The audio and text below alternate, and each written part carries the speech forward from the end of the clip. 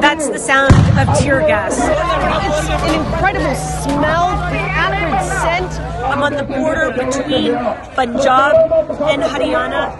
And on the other side of these protesters are hundreds of police and paramilitary forces.